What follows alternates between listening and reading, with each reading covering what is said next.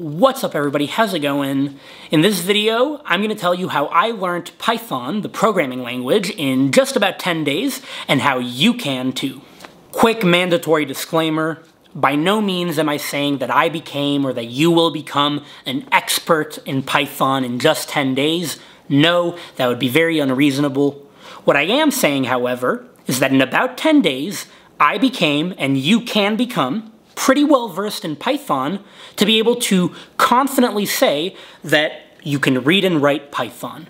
Or for instance, to be able to comfortably walk into a coding interview room at a big tech company like Google, for instance, and pass the interviews in Python like I did. One more thing, there is a prerequisite here, which is that you need to have the sort of fundamental programming concepts down for this to work. Ideally, you know how to code in another language like JavaScript or C++, but you need to know, for instance, what a for loop is, or what a conditional statement is, or what a function is. If you don't know these sort of very basic concepts, then you'll have a little bit more work to do, and here I would really recommend, you know, maybe starting with one of the very beginner tracks on Codecademy or other sort of websites like that. But otherwise, if you're someone who already knows those fundamental concepts, or who knows how to code in JavaScript or C++ or Java, but you don't know any Python, then this video is going to be perfect for you. So for those of you who don't know, in late January, early February 2017,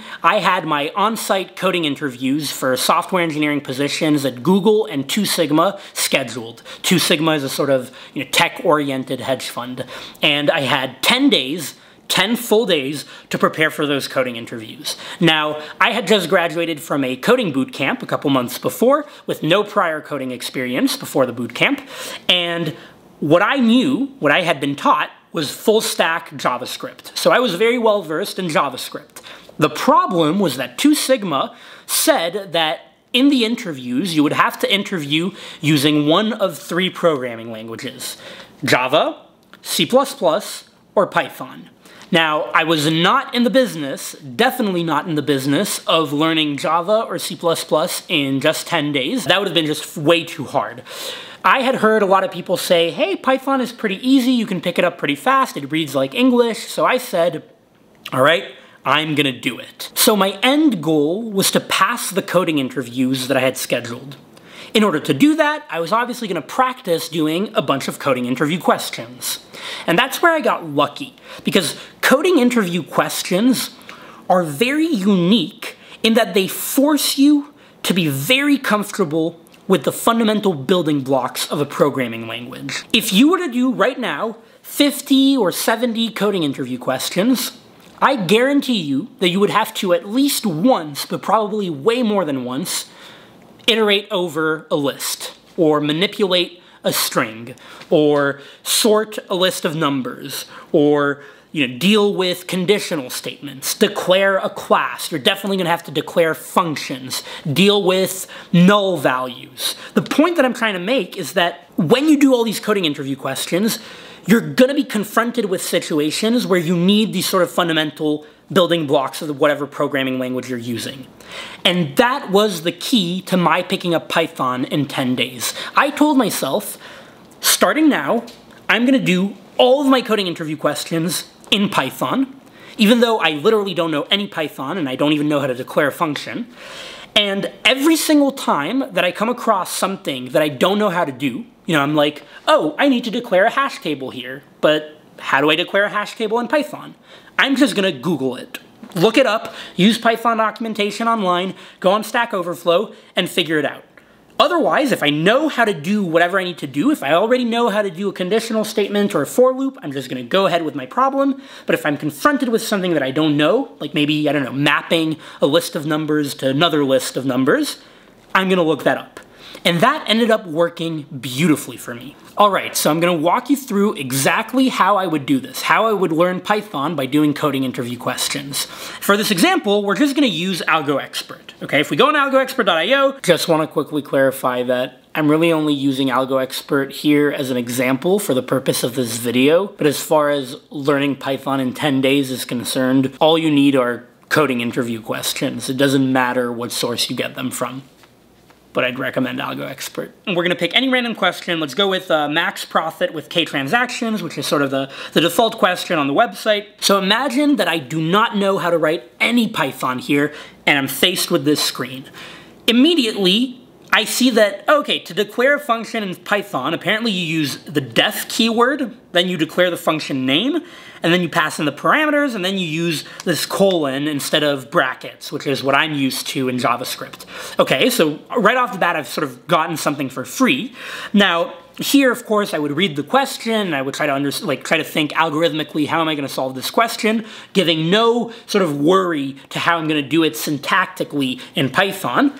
But then, once I'm ready to start coding out the question, I'm going to start asking myself, okay, what do I write here? I know this question, I've done it like a billion times, but I'm gonna tell myself, okay, I wanna check the cases where we have no stock prices. So where this list of prices is empty. So in JavaScript, I would probably do something like if open, open parentheses, uh, prices dot length equals zero, open bracket, you know, return, I guess, uh, zero here, because we're returning the max profit. Okay, let's see how we would do that in Python. We. Let's I would assume that if, okay, that's a keyword, if is a keyword. If, uh, in open parentheses, that's right, JavaScript, if prices.length, that also looks like it's a keyword, open bracket, oh, sorry, if prices dot length is, um, let's say, equals zero, open bracket, return zero, and semicolon. That's how I would write this in JavaScript, so I'm just gonna, like, play around with it. Let's run the code. Okay, it's failing everything. This might be because, like, it's just failing test cases, but let's look at the raw output. Okay, invalid syntax. So the three equals is an invalid syntax. So immediately I can start looking up how, or an equal operator in Python. Okay, boom, you immediately get it here, right here in Google, like I don't even have to click on a website, it's a double equal. So I'm gonna go back and I'm gonna fix this to double equal and I'm gonna run code again. Okay, invalid syntax again. So now I'm using brackets. Okay, so here I'm, I'm a little stumped. Let's just like look up if-else statements in Python. So I'm gonna go on Google and I'm gonna say uh, if statements. It's literally, Google is so smart, it already guesses that I'm looking up if statement in Python. Wait, let's see. If I backspace, literally just the word if, it knows if in Python. That's so crazy. If in Python, okay? Python if else, W3 schools, perfect. I'm gonna click on that. Boom, what do you know? Right here, I've got if b greater than a colon this. And by the way, I want to say, like, this is crazy. I've already learned so much from just this web page right here. I've learned that, well, the double equal again, although I had learned that before. I learned about exclamation point equal. That's apparently the, like, not equal operator. Okay, great. I've learned that apparently to declare variables, I don't need a keyword like const or let or var in front because it looks like they're just doing a equals 33, b equals 200. Then I've learned how to write an if, if statement. Apparently it's just a colon and then the thing has to be indented. And then I've learned that if you want to log something, apparently you can use this print function. Oh, and here, indentation. Python relies on indentation, using white space to define scope and code. Often programming with other programming languages often use curly brackets for this purpose. Okay, great. I just learned so much. W3 Schools has literally, like, it's giving me everything here for free. Like, look on the side. Everything here is literally what I need to learn Python. Like, if I go through all these links, I'll probably have everything already. Anyway, so let's go back to the, to the problem. Um, so we don't need the bracket. I'm going to remove this, uh, to put colon. So let's run code. Okay, so I'm still getting some weird stuff. List object has no attribute length. Okay, so clearly my colon worked, my if statement worked. So let's go back to Google and, uh, or to, here, wait, we're on W3 schools. Let's just go to Python arrays right here. We're looking for the length. Apparently dot length doesn't work. Oh, perfect. Length of an array. Use the len parentheses method. x equals len dot cars. Perfect. I'm gonna go back here. I'm gonna delete this. I'm gonna do len of prices equals zero. Whoops. Len of prices equals zero. We're gonna run our code. And now, uh, let's see. Wait, it looks like it passed. Yeah, okay, so it passed. So this, like, we're failing test cases because obviously I didn't read the entire code. But look, we've already learned that in Python, you can write an if statement like this. And, and if I go back actually, and I go back to the if statement, I don't think we actually needed the parentheses. So I can go back here, delete the parentheses, and run this, and let's see if it works. It works. What do you know? Okay, okay, Python is amazing. Apparently you don't need any syntax in Python. It's just like English. Um, then I'll go back and I also saw that here there was no semicolons. So I guess maybe you don't, I mean, you don't need semicolons in JavaScript either, but you do need them, I think, in Java or C++, correct? Let's see. Do you need them in C++? I think you'd need them in C++.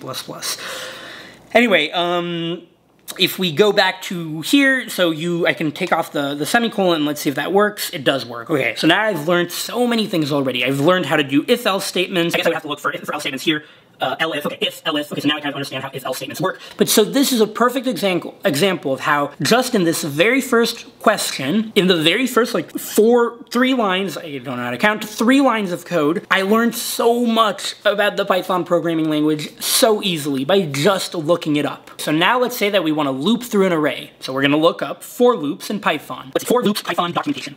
Okay, for more control flow tools, Python 3.7.4, Python.org, this looks like the correct documentation, let's click on that. Okay, if statements, for statements, perfect. The for statements in Python differ different from what you used to in C or Pascal. Python's for statement iterates over the items of any sequence, list or string, in the order they appear in the sequence. For example, no pun intended, they even give you humor. This is such a pleasant way to learn Python. For W in words, print W, len of W. Okay, so now we know how to do a for loop, and we know that apparently we can print two things in a print statement with just a comma in between the parameters. And if we want to test it out, what I like to do is just open a terminal window, install Python, and just run stuff and see if it works. If I run Python and I do array equals one, two, three, and I do for LA in array, uh, tab print LA, and then maybe the len of the array to see if we can print two things. And boom, I confirmed that this works. Now let's do something a bit more difficult. You come across a problem where you want to iterate through a list, not from start to end, but from end to start. So you want to iterate in reverse order over the list. In JavaScript, I would probably just do a for loop with the iterator variable, you know, my index variable, starting at the very last index in the array and decrementing all the way until it's, you know, negative one, less than zero. But I don't know how to do that in Python, so let's look it up. I'm gonna go back here, and I'm gonna look up how to how to iterate over an array in reverse order, in reverse in Python. Let's just look that up. Okay, different ways, um, stack overflow, reverse reverse order in Python, perfect. Okay, so, all right, use the built-in reversed function. 1022 upvotes. For i in reversed a, print a. Okay, let's just test it out. So for la in reversed array, um, print la and huzzah, or hooray. I'm type. Three hooray, two hooray, one hooray. So perfect. Now we know how to iterate in reversed order. That was something that was a bit more complicated, and yet we found it instantly. Something even harder. Let's take lambda functions in Python. Now I remember when I first discovered lambda functions in Python, I think the way that I found them was because I was trying to mimic, you know, the dot map or dot reduce methods in, in JavaScript. You know, I wanted to map a list of values to another list of values, doing some sort of uh, transform function in the mix. So let's look that up. I'll just do um, how to dot map in Python. Let's look it up. How to do map Python, that function applies to uh, variable, their values from mapping Okay, this doesn't really help me that much. Uh, let's look at Geeks for Geeks.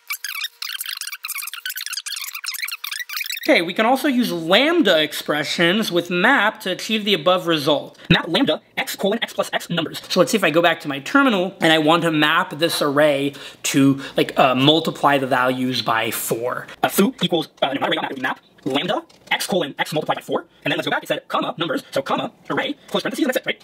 So now we have foo, and boom, foo is 4, eight, twelve. 12. Perfect. Just like that, we were able to look up something a bit more complicated like lambda functions. And again, this doesn't stop at lambda functions. You can look up stuff that's even more complicated, like maybe how to initialize a class, right? Python, how to initialize a class. And we can look up uh, Python documentation, perfect classes, Okay, here I would have to take a pause and actually read this. I'm gonna cut myself off there because I think you get the idea at this point. Ultimately, you can use Google and the Python documentation to really teach yourself everything there is to know about Python for these coding interview questions, from the super easy stuff all the way to the more complicated stuff like classes, for instance.